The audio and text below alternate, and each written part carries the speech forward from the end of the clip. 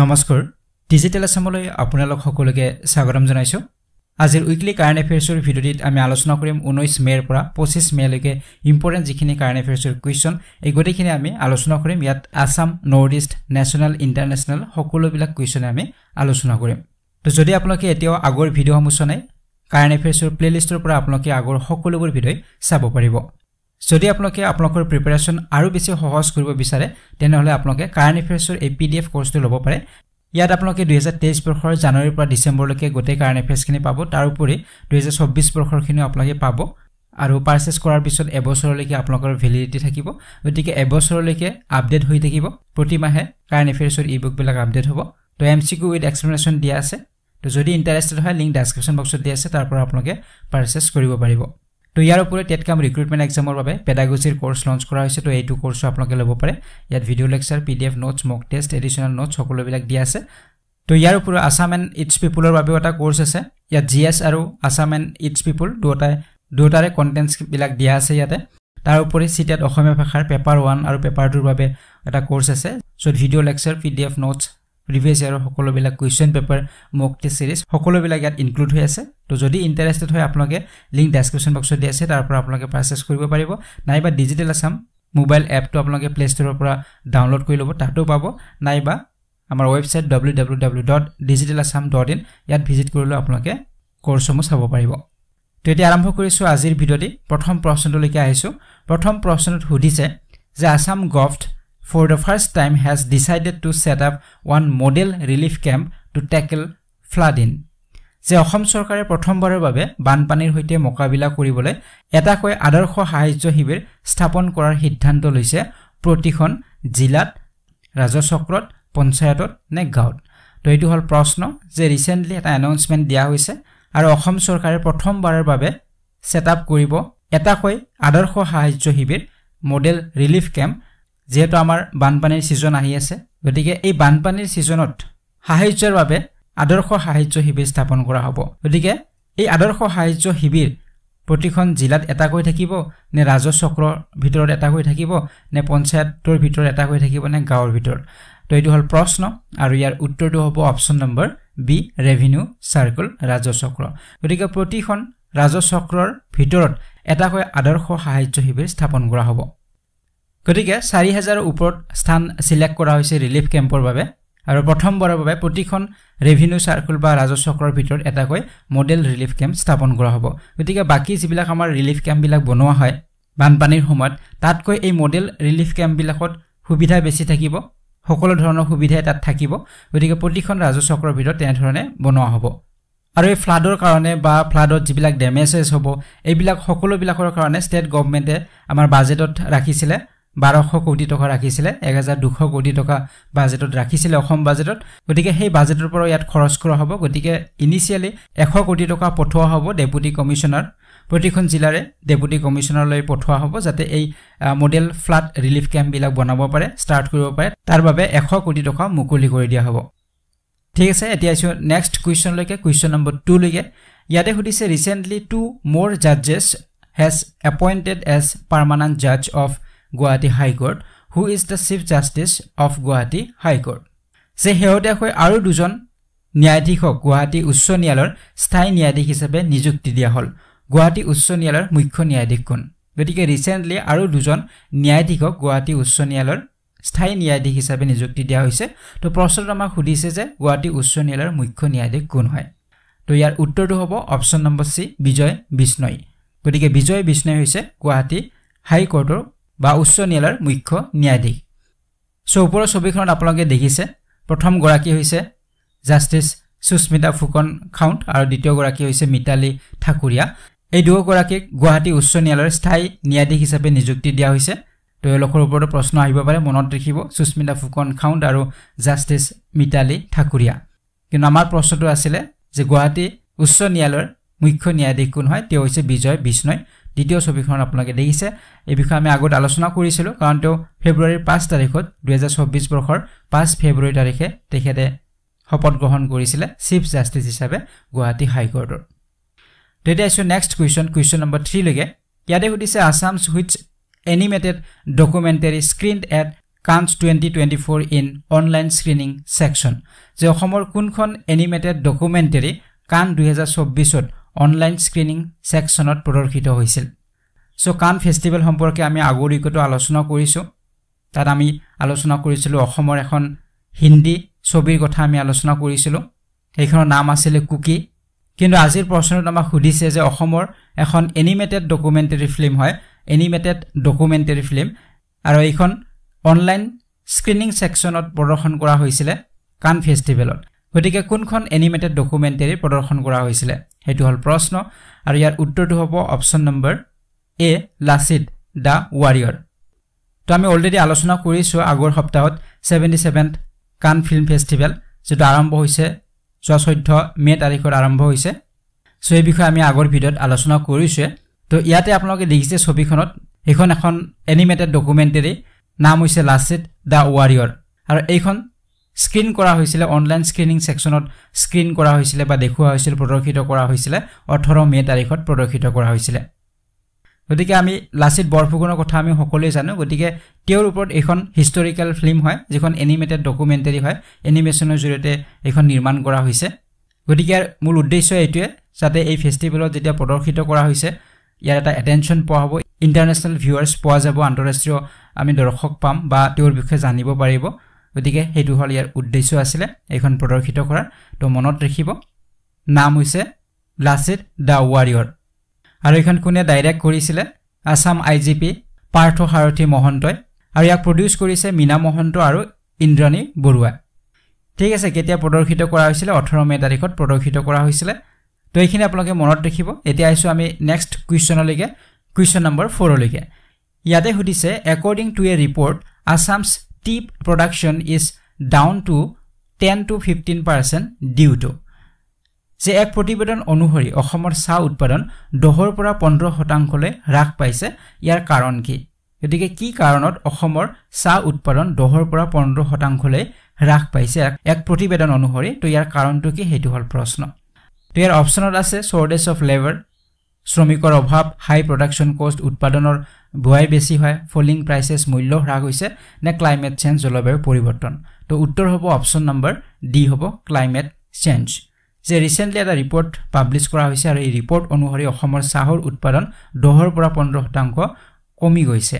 ইয়াৰ কাৰণটো হৈছে climate change কাৰণ চাহৰ উৎপাদনৰ বাবে যি ক্লাইমেটৰ প্ৰয়োজন হয় বৰষুণৰ মাত্ৰা বেছি হ'ব লাগে। তো বৰষুণ যথেষ্ট কম হয় ৰেইনফল বহুত কম হৈছে আৰু গৰম হয় বহুত বতৰটো আমাৰ গৰম আৰু বৰষুণৰ মাত্ৰা কম হোৱাৰ বাবে দহৰ পৰা পোন্ধৰ শতাংশ যিটো প্ৰডাকশ্যন হয় চাহৰ সেয়া কমি গৈছে। তো এই যিটো ৰিপৰ্ট পাব্লিছ কৰা হৈছে এইটো ইণ্টাৰনেশ্যনেল টি ডেৰ লগত সংগতি ৰাখি কৰা হৈছিলে বা আমি জানো যে ৰিচেণ্টলি ইণ্টাৰনেশ্যনেল টি ডে বা আন্তঃৰাষ্ট্ৰীয় চাহ দিৱস পালন কৰা হৈছে। আৰু একৈছ মে' তাৰিখত পালন কৰা হয়। গতিকে এই দিৱস উপলক্ষে এটা ছাৰ্ভে বা এটা ৰিপৰ্ট পাব্লিছ কৰা হৈছিলে আছাম টি সম্পৰ্কে। আৰু সেই ৰিপৰ্ট মতে দহৰ পৰা পোন্ধৰ শতাংশ ক্লাইমেট চেঞ্জৰ বাবে আমাৰ প্ৰডাকশ্যন কম হৈছে চাহৰ উৎপাদন কম হৈছে। গতিকে আপোনালোকে ইণ্টাৰনেশ্যনেল টি ডে কেতিয়া পালন কৰা হয় এইটো এটা প্ৰশ্ন সুধিব পাৰে। গতিকে আপোনালোকে চিম্পলি মনত ৰাখিব একৈছ মে' তাৰিখত পালন কৰা হয়। আৰু এই দিৱসৰ জৰিয়তে প্ৰমোট কৰা হয় এটা এৱাৰনেছ এটা সজাগতা এটা বৃদ্ধি কৰা হয়। চাহ উৎপাদনৰ ক্ষেত্ৰত বা চাহ আমাৰ জীৱনৰ ক্ষেত্ৰত কিমান প্ৰভাৱ পেলায় বা আমাৰ দেশৰ প্ৰভাৱতী দৰিদ্ৰতা নাইকিয়া কৰাৰ ক্ষেত্ৰত কি ৰোল আছে।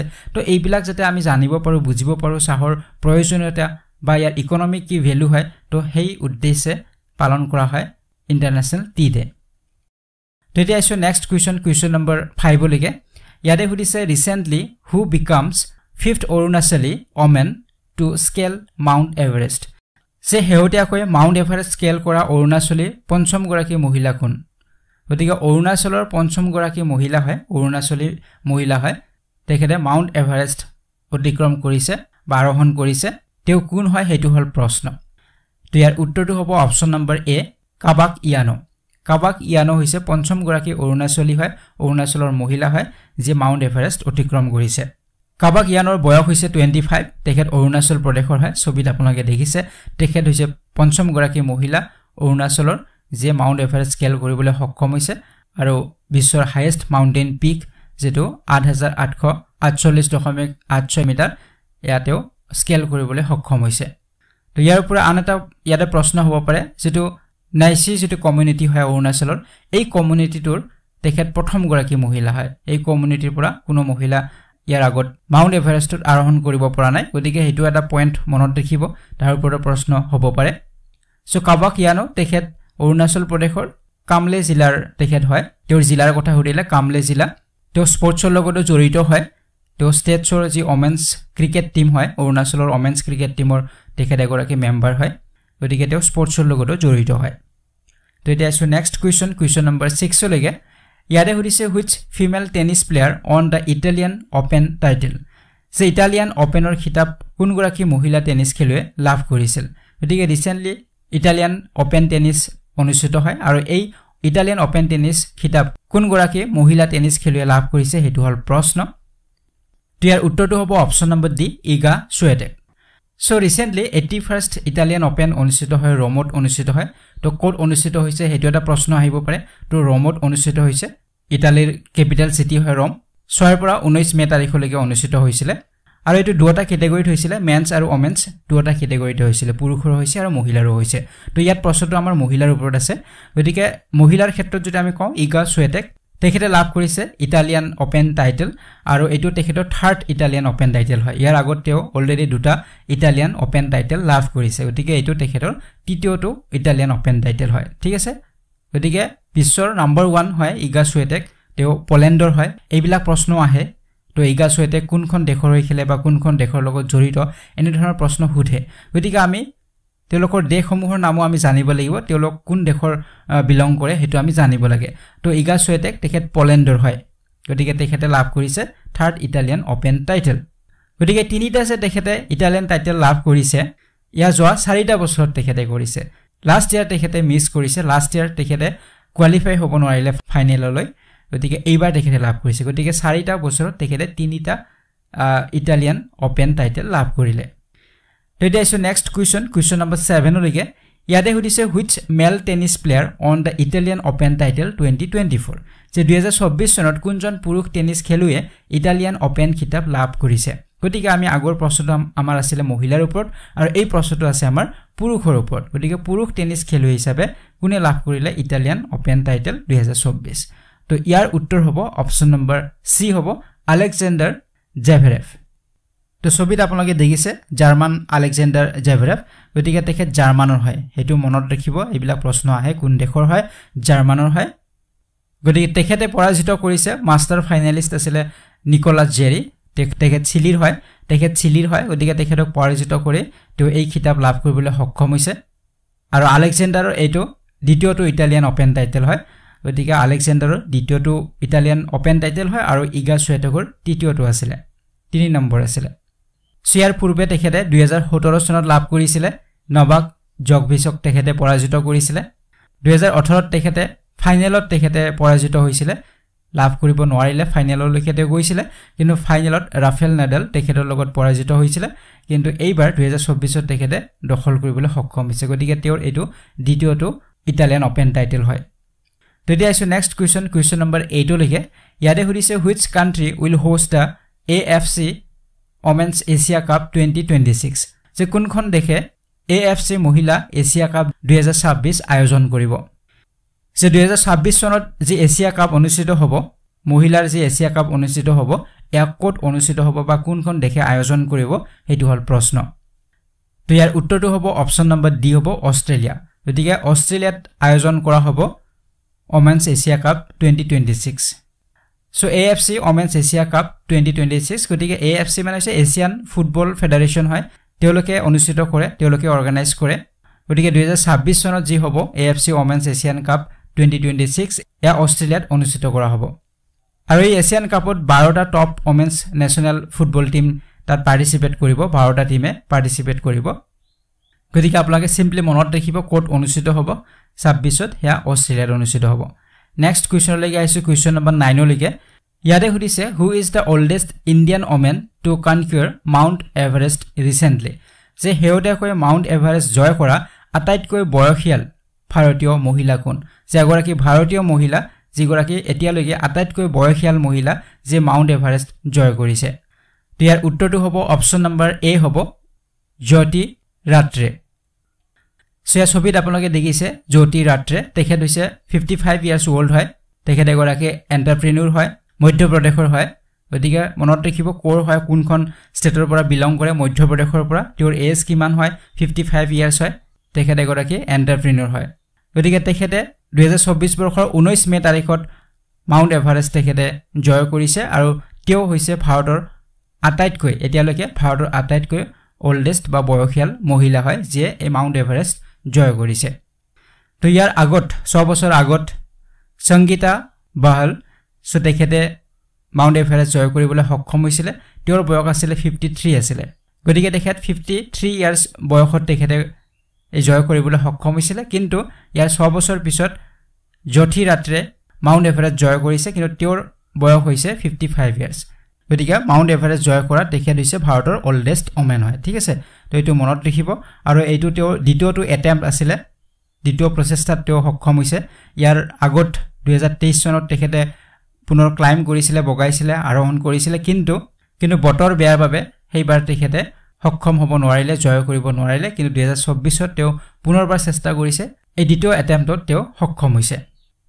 তো মাউণ্ট এভাৰেষ্টৰ ওপৰত তেখেতে বেলেগ বেলেগ আৰু তেনেধৰণৰ হায়েষ্ট যিবিলাক পিক আছে ফাইভ কণ্টিনেণ্টছৰ তেখেতে বেলেগ বেলেগ যি পিকছবিলাকৰ হায়েষ্ট পিকবিলাক তেওঁ অতিক্ৰম কৰিবলৈ সক্ষম হৈছে জয় কৰিবলৈ সক্ষম হৈছে। কিন্তু তেওঁ মাউণ্টেইনাৰ হোৱাৰ আগত তেখেত কি আছিলে? চ' তেখেত ফুল টাইম এণ্টাৰপ্ৰিনিয়ৰ আছিলে। এতিয়াও তেওঁ এণ্টাৰপ্ৰিনিয়ৰ হয় তেওঁৰ বিজনেছ আছে কিন্তু তাৰ মাজতে তেখেতৰ এটা সপোন আছে এটা পেচন বুলিও ক'ব পাৰোঁ মাউণ্টেইনাৰ হোৱা। গতিকে তেওঁ দুটা কামেই চলাই আছে কিন্তু ইয়াৰ আগত তেখেতে ফুল টাইম এণ্টাৰপ্ৰিনিয়ৰ আছিলে আৰু তেওঁ স্কুল ইউনিফৰ্মৰ বিজনেছ এটা কৰিছিলে ভূপালত। গতিকে এতিয়া তেওঁ তেওঁৰ সপোনটোৰ লগতে তেওঁৰ যি কাম সেই কামটোও কৰে আৰু তেওঁৰ সপোনটো পূৰণ কৰাৰ বাবে চেষ্টা কৰে একেলগে। তেতিয়া আহিছোঁ নেক্সট কুৱেশ্যন কুৱেশ্যন নম্বৰ টেনলৈকে ইয়াতে সুধিছে what is India's rank on the world economic forum's travel and tourism development index twenty twenty four publish by world economic forum যে বিশ্ব অৰ্থনৈতিক মঞ্চই প্ৰকাশ কৰা বিশ্ব অৰ্থনৈতিক মঞ্চৰ ভ্ৰমণ আৰু পৰ্যটন উন্নয়ন সূচাংকক দুহেজাৰ চৌব্বিছত ভাৰতৰ স্থান কিমান? গতিকে ৰিচেণ্টলি পাব্লিছ কৰিছে ৱৰ্ল্ড ইকনমিক ফৰামে এটা ৰিপৰ্ট বা এটা ৰেংকিং পাব্লিছ কৰিছে। সেয়া হৈছে world economics ফৰামৰ travel and tourism development index গতিকে ট্ৰেভেল আৰু টুৰিজিম ডেভেলপমেণ্টৰ ওপৰত এটা ইণ্ডেক্স দুহেজাৰ চৌব্বিছত পাব্লিছ কৰিছে কোনে সেইটো এটা প্ৰশ্ন আহিব পাৰে কোনে পাব্লিছ কৰিছে? ৱৰ্ল্ড ইকনমিক ফৰামে পাব্লিছ কৰিছে। গতিকে ইয়াত ভাৰতৰ স্থান কিমান হয়? ট্ৰেভেল এণ্ড টুৰিজিম ডেভেলপমেণ্টৰ ক্ষেত্ৰত ভাৰতৰ স্থান কিমান হয়? সেইটো হ'ল প্ৰশ্ন। তো ইয়াৰ উত্তৰটো হ'ব অপশ্যন নম্বৰ বি হ'ব থাৰ্টি নাইনথ গতিকে ভাৰতৰ যি ৰেংক হয় ভাৰতৰ যি স্থান হয় ট্ৰেভেল এণ্ড টুৰিজিম ডেভেলপমেণ্টৰ ক্ষেত্ৰত এই ৰেংকটো হৈছে থাৰ্টি নাইনথ হয়। এশ ঊনৈছখন দেশৰ ইয়াত ইণ্ডেক্স দিয়া হৈছে আৰু এই এশ ঊনৈছখন দেশৰ ভিতৰত আমাৰ ভাৰতৰ ৰেংক হৈছে থাৰ্টি নাইনথ ৰেংক হয়। তো এইটো মনত ৰাখিব কোনে পাব্লিছ কৰিছে এই ৰেংকিংটো ৱৰ্ল্ড ইকনমিক ফৰামে পাব্লিছ কৰিছে। তো এই ৰেংকিঙত টপ পজিশ্যনত কোন আছে? ইউনাইটেড ষ্টেটছ অফ আমেৰিকা তেওঁলোক আছে ৰেংকিং ওৱানত আছে। আৰু ইণ্ডিয়াৰ ক্ষেত্ৰত যদি এনেধৰণে এটা প্ৰশ্ন সোধে যে ছাউথ এছিয়াৰ ভিতৰত ইণ্ডিয়াৰ ৰেংক কিমান তেতিয়া কিন্তু ইণ্ডিয়াৰ ৰেংক ওৱান হ'ব। যে ইণ্ডিয়াৰ ৰেংক টপ মষ্ট ৰেংক হ'ব ওৱান ৰেংক হ'ব ফাৰ্ষ্ট ৰেংক হ'ব। যদি আমাক প্ৰশ্নত সোধে যে ছাউথ এছিয়াৰ ভিতৰত আমাৰ ৰেংক কিমান হয় তেতিয়া কিন্তু ছাউথ এছিয়ান আমাৰ কাণ্ট্ৰিবিলাকৰ ভিতৰত আমাৰ ৰেংক হ'ব ইণ্ডিয়াৰ ফাৰ্ষ্ট হ'ব। ঠিক আছে? আৰু অভাৰঅল আমাৰ যদি বিশ্বৰ ভিতৰত কিমান সোধে তেনেহ'লে আমাৰ থাৰ্টি নাইনথ হ'ব। তো ইয়াৰ উপৰি আপোনালোকে আন এটা ইয়াত কথা মনত ৰাখিব বা এটা প্ৰশ্ন ইয়াত সুধিব পাৰে যে ইণ্ডিয়াৰ অভাৰঅল স্ক'ৰ কিমান হয়? আমি ৰেংকটো জানিলোঁ থাৰ্টি নাইন হয় কিন্তু স্ক'ৰৰ কথা সুধিব পাৰে যে কিমান স্ক'ৰ পাইছে ইণ্ডিয়াই। তো ইণ্ডিয়াৰ যিটো অভাৰঅল যিটো স্ক'ৰ হয় সেইটো হৈছে ফ'ৰ পইণ্ট টু ফাইভ হয়। তো ইয়াৰ ওপৰতো স্ক'ৰটোৰ ওপৰতো প্ৰশ্ন সুধিব পাৰে।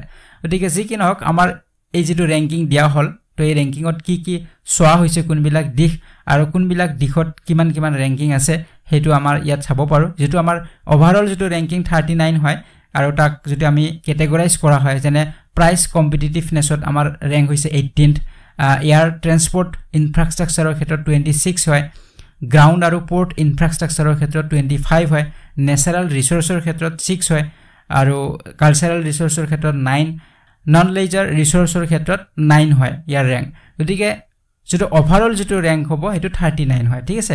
আৰু কেটেগৰাইজ কৰি যদি আমাক প্ৰশ্ন সোধে যে প্ৰাইচ কম্পিটিটিভনেছৰ ক্ষেত্ৰত কিমান ৰেংক তেনেহ'লে এইটিন ৰেংক হ'ব। এয়াৰ ট্ৰেন্সপৰ্ট ইনফ্ৰাষ্ট্ৰাকচাৰ যিটো আমাৰ ইনফ্ৰাষ্ট্ৰাকচাৰ হয় এয়াৰ ট্ৰেন্সপৰ্টৰ সেইটোৰ কথা সুধিব পাৰে। বা গ্ৰাউণ্ড আৰু পৰ্টৰ ইনফ্ৰাষ্ট্ৰাকচাৰৰ কথা সুধিব পাৰে। তো এইবিলাকৰ ক্ষেত্ৰত ৰেংকিংবিলাক বেলেগ বেলেগ হ'ব যদি আমাক ক্লাছিফাই কৰি সোধে। আৰু অভাৰঅল ৰেংকিংটো আমাৰ থাৰ্টি নাইনে হ'ব।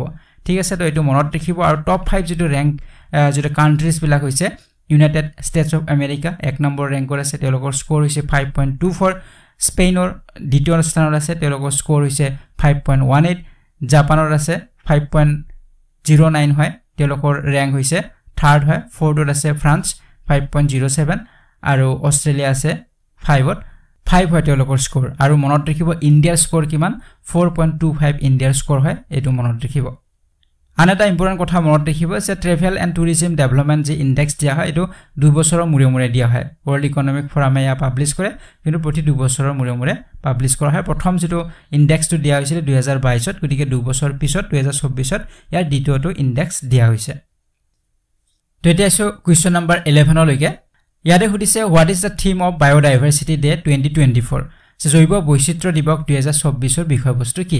যে ৰিচেণ্টলি পালন কৰা হ'ল বায়'ডাইভাৰ্চিটি ডে গতিকে ইয়াৰ বিষয়বস্তু কি আছিলে থিম কি আছিলে সেইটো হ'ল ইয়াৰ প্ৰশ্ন। আৰু ইয়াৰ উত্তৰটো হ'ব option number C B part of the plan পৰিকল্পনাৰ অংশ হওক। B part of the plan হৈছে বায়'ডাইভাৰ্চিটি ডে দুহেজাৰ চৌব্বিছৰ বিষয়বস্তু। তো বায়'ডাইভাৰ্চিটি ডে কেতিয়া পালন কৰা হয় সেইটো এটা প্ৰশ্ন সুধিব পাৰে। ইয়াত আমি থিমৰ ওপৰত প্ৰশ্নটো আছিলে আমাক সুধিব পাৰে যে কেতিয়া পালন কৰা হয় সেইটো এটা প্ৰশ্ন আমাৰ হ'ব পাৰে।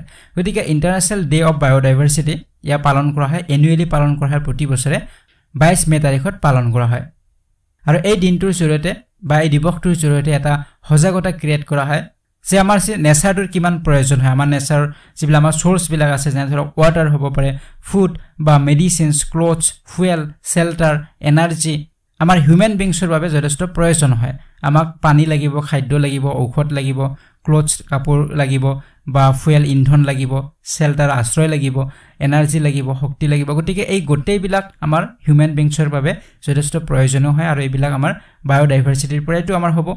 গতিকে সেইকাৰণে আমি আমাৰ যিটো বায়'লজিকেল যিটো ৱেল্থ হয় বা বা বায়'লজিকেল যিটো আমাৰ স্বাস্থ্য সেইটো আমি প্ৰটেক্ট কৰিব লাগিব সুৰক্ষা কৰিব লাগিব সুৰক্ষা দিব লাগিব। গতিকে আমি সজাগ হ'ব লাগিব সচেতন হ'ব লাগিব।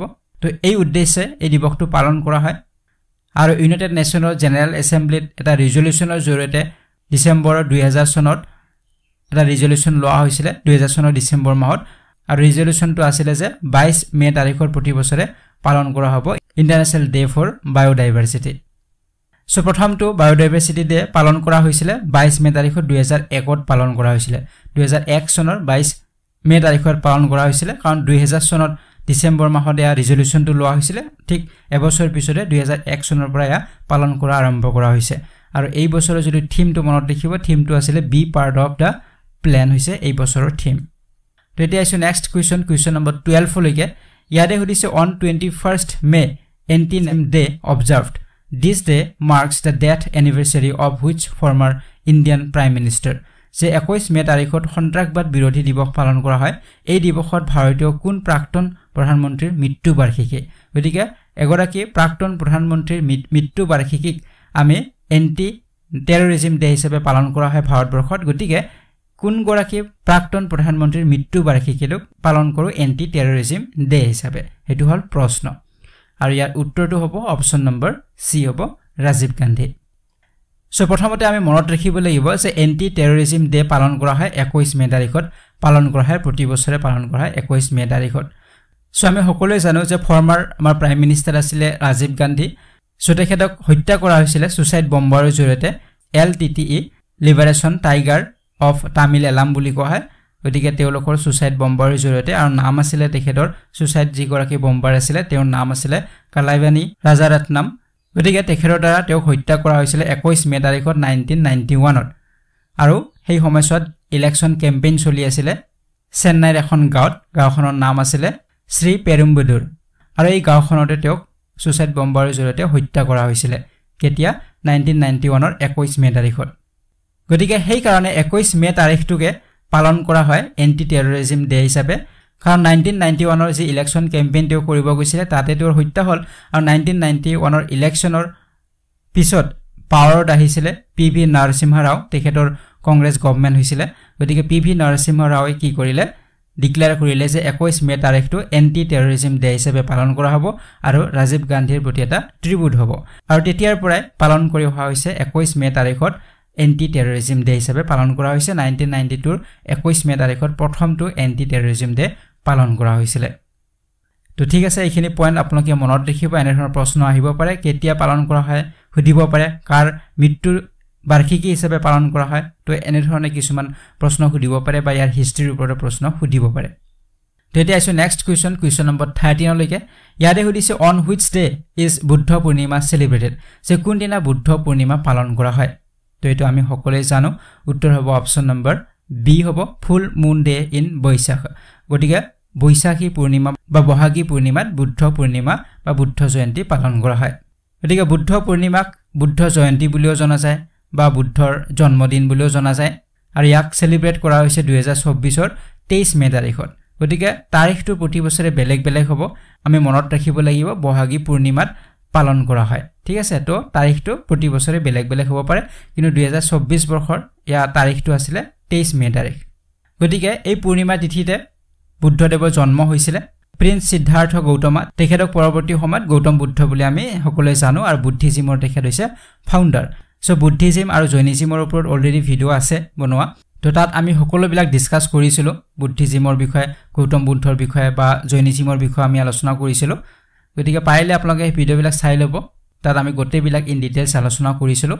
গতিকে যি কি নহওক আপোনালোকে এটা কথা মনত ৰাখিব। এই বুদ্ধ পূৰ্ণিমাৰ দিনাই তেওঁৰ জীৱনত তিনিটা ঘটনা হৈছিলে। সেয়া হৈছে তেওঁৰ জন্ম তেওঁৰ মৃত্যু আৰু তেওঁ যি এনলাইটেনমেণ্ট লাভ কৰিছিলে বা আমি জ্ঞান অৰ্জন বুলি ক'ব পাৰোঁ সেয়া তেওঁ লাভ কৰিছিলে এই বুদ্ধ পূৰ্ণিমাৰ দিনাই। গতিকে সেইকাৰণে এইটো যথেষ্ট এটা ছিগনিফিকেণ্ট হয়। গতিকে তেওঁক লৰ্ড বিষ্ণুৰ অৱতাৰ বুলিও কোৱা হয় লৰ্ড বুদ্ধক। লৰ্ড বিষ্ণুৰ অৱতাৰ বুলিও কোৱা হয়। তো এইবিলাক আমি তাত আলোচনা কৰিছোঁ সেই ভিডিঅ'টিত আমি আলোচনা কৰিছোঁ যে তেওঁ বৃক্ষৰ তলত তেওঁ এনলাইটেনমেণ্ট লাভ কৰিছিলে।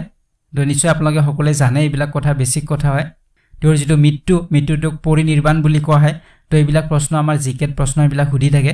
তো এই পইণ্টছবিলাক আপোনালোকে মনত ৰাখিব লাগিব। তেওঁৰ জন্ম ক'ত হৈছিলে? নেপালৰ লুম্বিনীত তেওঁৰ জন্ম হৈছিলে। তেওঁ এনলাইটেনমেণ্ট ক'ত লাভ কৰিছিলে বোধগয়াত তেওঁ এনলাইটেনমেণ্ট লাভ কৰিছিল তেওঁৰ মৃত্যু ক'ত হৈছিলে কুচিনগৰত তেওঁৰ মৃত্যু হৈছিলে। তো এইবিলাক ইম্পৰ্টেণ্ট পইণ্টছ হয় সেইবিলাক প্ৰশ্ন আমাৰ জি কেট সুধি থাকে তো আপোনালোকে এইবিলাক চাব। আৰু যদি পাৰে সেই ভিডিঅ'টি মোৰ চাই ল'ব প্লে'লিষ্টত হয়তো আপোনালোকে পাব পাৰে তো তাৰ পৰা আপোনালোকে চাই ল'ব পাৰে। তো এতিয়া আহিছোঁ next question question number ফৰ্টিনলৈকে recently general To Lam was elected as the new president of which country যে শেহতীয়াকৈ জেনেৰেল টলাম কোনখন দেশৰ নতুন ৰাষ্ট্ৰপতি হিচাপে নিৰ্বাচিত হৈছে? তো ৰিচেণ্টলি জেনেৰেল টলাম এখন দেশৰ নতুন ৰাষ্ট্ৰপতি হিচাপে নিৰ্বাচিত হ'ল গতিকে কোনখন দেশৰ ৰাষ্ট্ৰপতি হিচাপে তেওঁ নিৰ্বাচিত হৈছে এইটো হ'ল প্ৰশ্ন।